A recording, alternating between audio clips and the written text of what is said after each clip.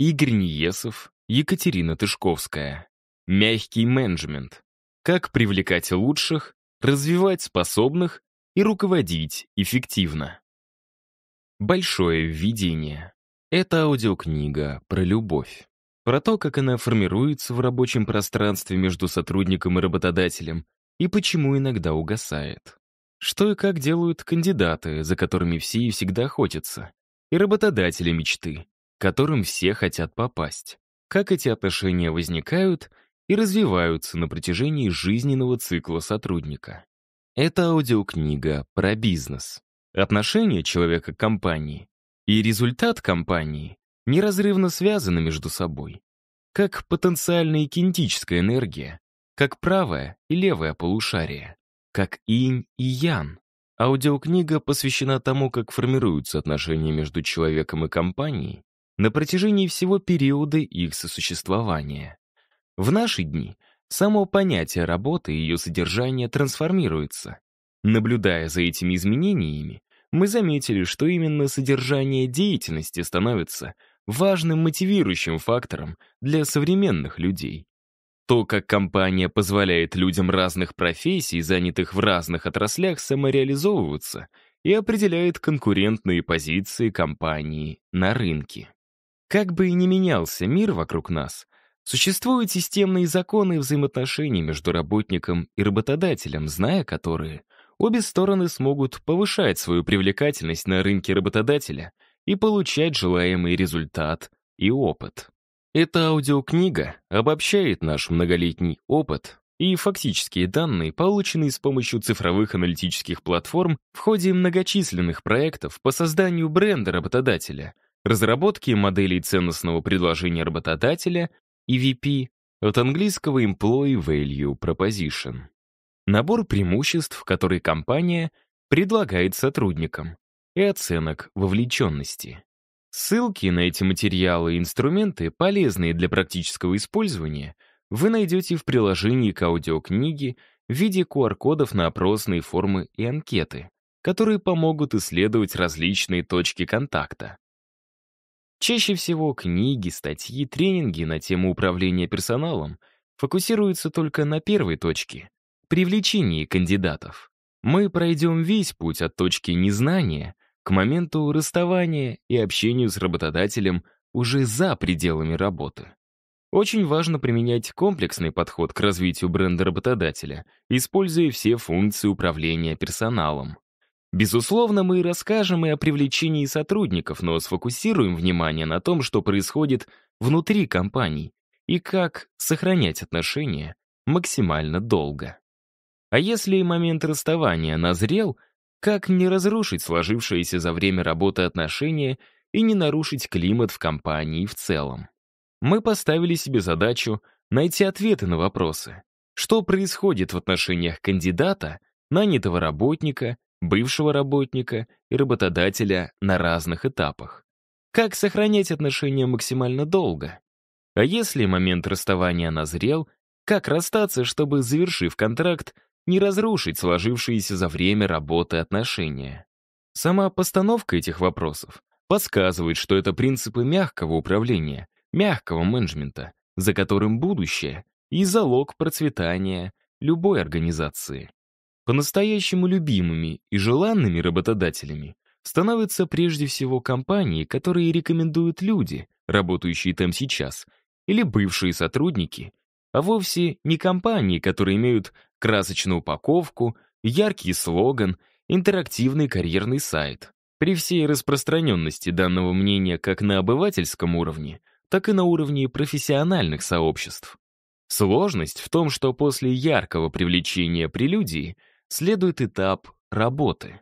Именно поэтому удержание привлеченных сотрудников, их вовлеченность — цель всей деятельности по развитию бренда работодателя, а достижение этой цели делает компанию по-настоящему эффективной и успешной.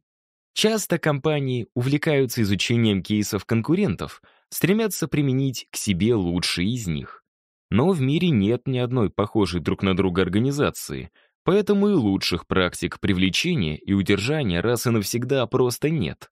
Работает то, что создается в моменте внутри самой организации. нужно быть включенным в текущую реальность, то есть гибким, сконцентрированным, осознанным и при этом расслабленным. Выиграют те, кто умеет замедляться и действует осознанно, а не на автомате. Многие профессиональные спортсмены, например, специально тренируют внимательное состояние, способность концентрироваться и расширять время почти как в замедленной съемке. Футболисту такой навык помогает осуществить точный удар, а пилоту Формулы-1 успешно обогнать соперника на трассе. Лучшее, что могут делать организации, это изучать себя, анализировать свои цели, изучать сотрудников и их потребности, как они изучают своих клиентов, и далее действовать не по шаблону, а исходя из реальности бизнеса. Точка опоры лидера. Техники концентрации и замедления пришли в бизнес неспроста. Главной задачей лидеров сегодня становится умение приводить себя в состояние ресурса и давать себе точку опоры. Именно это позволяет им делать ресурсным свои команды. Какой ключевой навык помогает извлекать ресурс в моменте? Лидеры сегодняшнего дня — это люди, способные расширить временные рамки, высоко подняться над ситуацией, чтобы увидеть картину целиком, присутствовать в моменте и присоединяться к тонкому информационному слою, чтобы считывать тренды и быть проводниками изменений. Важность навыка концентрироваться в моменте существенно расширяет парадигму организационного управления. Любая трансформация — это всегда сдвиг парадигмы. Нам нравится замечать, что сейчас это сдвиг в сторону расширения, а не ломки. И здесь можно наблюдать несколько трендов. Тренды менеджмента. Тренд первый. Работник как клиент. Изменяется подход к управлению людьми. Если раньше компании оценивали и использовали людей как ресурс в реализации своих целей, то сейчас компания вступает с работниками в равноправные отношения, представляет своим работникам себя как ресурс для реализации их собственного потенциала и миссии. Это принципиально новая, более гармоничная и экологичная парадигма. В такой системе человек и компания равноправны в своем выборе. Они исследуют друг друга, ищут сильные стороны, на которые могут опереться, и вместе достичь успеха. Когда человек делает то, к чему у него есть природный талант, появляется энергия к действию и мотивация, и он создает лучшее из того, что возможно создать в той или иной области. У Бориса Акунина в «Коронации» или последнем из романов описано, как Дворецкий наблюдает за младшим лакеем в Гачинском дворце. Поначалу тот кажется ему совершенно бестолковым. Его безуспешно пробуют для разных дел на кухне, в столовой, в гардеробной, но тот никуда не годится, причем настолько, что хозяева готовы его выгнать. И вдруг дворецкий замечает, как лакей сидит во дворе и возится с каким-то предметом. Это стекло, с которым он обращается так, будто ему достался какой бриллиант бесценный. Заметив, с какой любовью слуга натирает стеклышко, Мудрый дворецкий поручает ему протирать все стеклянные предметы в доме. С тех пор непутевый лакей становится лучшим мойщиком окон во всем Петербурге, и чтобы заполучить его в помощники, все дворецкие северной столицы записываются в очередь. О чем говорит эта история? Старший, более опытный профессионал наблюдает, фиксирует сильные стороны своего подчиненного, его интересы и создают условия для их развития и укрепления. Один из руководителей крупной сельскохозяйственной компании как-то поделился историей сотрудницы, работающей укладчицей на птицефабрике. Ее задачей было укладывать тушки куриц в коробки так, чтобы общий вес коробки был равен 10 килограммам. При этом можно было допустить погрешность плюс-минус 5%, то есть 500 грамм.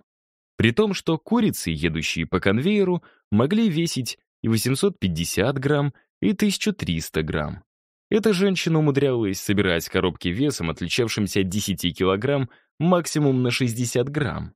Сколько бы их ни замеряли, они весили то 10 килограмм 30 грамм, то 9 килограмм 980 грамм, то 10 килограмм 10 грамм. Проверка показала, что погрешность ни разу не превысила разницу в 100 грамм, то есть сотрудница работала на глаз точнее нормы в пять раз.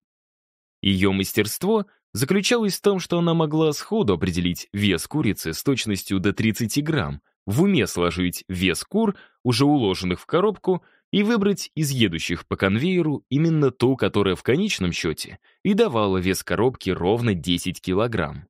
Сотрудница осознавала, что владеет редким и крайне необходимым для этой работы даром, ощущала себя на своем месте и гордилась тем, что приносит пользу компании. При этом, безусловно, она и сама получала удовольствие от того, что делает свою работу лучше, чем кто-либо другой. Помогая работнику самореализоваться, руководители компании создают сильную мотивацию, обеспечивают высокую производительность и качество труда, потому что человек делает много, качественно и с удовольствием то, к чему он предрасположен, что у него получается лучше всего. Но чтобы реализовать этот волшебный дар, к работнику следует подходить не как к ресурсу, который работает, потому что мы им деньги платим. К работнику нужно подходить как к клиенту, выявляя те его глубинные потребности и ценностные предпочтения, которые можно удовлетворить предлагаемой работой, способом ее организации и вознаграждением. Компании могут позиционировать себя работнику ровно так же, как они позиционируют себя клиентам. Строить бренд, чтобы привлечь тех, кто нужен компании, и доносить свои преимущества действующим сотрудникам. Для этого используются те же инструменты маркетинга, которые применялись для клиентов. Сегментация, предиктивная аналитика, психодиагностика, исследование потребностей, оценка лояльности, построение пути клиента. Все это в конечном итоге работает на эффективность бизнеса. Чтобы клиенты полюбили компанию и ее продукты — Нужно, чтобы компанию и ее продукты, услуги полюбили сотрудники. Тренд второй. Управление на основе сильных сторон. Подходы, основанные на использовании сильных сторон человека. Второй тренд в менеджменте. Понимание, как сотрудник делает то, что он делает особенно хорошо, ложится в основу программ развития и мотивации персонала. Любая организация имеет в своем культурном коде набор сильных и слабых сторон, унаследованных от ее создателей. Это своего рода иммунная система компании, которая может усиливаться в период жизнедеятельности или в какой-то момент ослабляться. Новые лидеры и ключевые сотрудники будут видоизменять этот код снова и снова. При этом, несмотря на все изменения, некий корневой принт ДНК корпоративной культуры будет сохраняться. Интерес к выявлению и развитию сильных сторон работников не нов. Он возник в противоположность так называемой дефицитной ветви научной мысли в психологии первой половины XX века, которая концентрировалась прежде всего на несовершенствах человека, на том, что необходимо исправить, искоренить, излечить, чтобы человек мог считаться нормальным. В районе 50-х годов прошлого века целый ряд психологов в разных концах света стали задумываться о том, что более важным может стать фокус на положительных сторонах человеческой личности, ее природных талантах, переформулировав известный вопрос «что с тобой не так?» в вариант «что с тобой так?». Это стало отправной точкой в рождении новой концепции поиска сильных сторон. В качестве примера можно привести методологию определения сильных сторон Дона Клифтона. В России исследованием вопросов достижения вершин профессиональной деятельности много занимались ученые Академии государственной службы при президенте РФ. В 90-е годы там активно функционировала кафедра акмеологии и психологии. Для определения сильных сторон сегодня по всему миру используется множество инструментов. Эта концепция позволяет определить таланты человека, его природные способности и показать путь к превращению их в сильные стороны. Природный талант сам по себе без развития не гарантия успеха. Однако если люди, команды, организации начинают инвестировать в него, использовать, развивать знания и навыки именно в выявленных областях, это приводит к успеху, приносит удовольствие — и дает дополнительную энергию. При этом спонтанные действия могут быть интуитивно верными. В основе такой интуиции — опытность, бизнес-насмотренность, когда ты много чего видел похожего, непохожего, и уже на основе этого опыта можешь мгновенно определить, как действовать в непривычной ситуации, которая ни на что не похожа, но по разным маякам подсказывает тебе направление и способы движения. Куда и как. В основе же бизнес-интуиции лежит вера в себя, а она, в свою очередь, формируется опытом, в том числе хорошим знанием своих сильных сторон. Сфера, где сотрудник может проявить себя наилучшим образом, это и есть мастерство. Исследования вовлеченности, проводимые сегодня в большинстве крупных российских компаний, часто включают в себя вопрос о том, насколько человеку удается использовать свои сильные стороны в работе. Компания K-Habits с помощью аналитической платформы Darwin обработала результаты таких исследований, проведенных в десятках российских компаний с общей численностью персонала более 300 тысяч человек. QR-код и ссылка находятся в приложении к аудиокниге. Также там находится график номер один и NPS аналитической платформы Darwin компании K-Habits. Оказалось, что вовлеченность сотрудников, которые отмечают, что имеют возможность заниматься на работе тем, что получается у них лучше всего, кардинальным образом отличаются от тех, кто отмечает противоположное. У этих людей показатель вовлеченности — Employee Net Promoter Score. От английского «готовность сотрудника рекомендовать работу в этой компании». Составляет в среднем по России плюс 60%, в то время как показатель вторых — минус 60%. Аналогичным образом обстоят дела с теми, кому работа дает ощущение личного успеха. Вовлеченность согласных с этим утверждением составляет 96,9%, в то время как вовлеченность несогласных упала до 72,2%.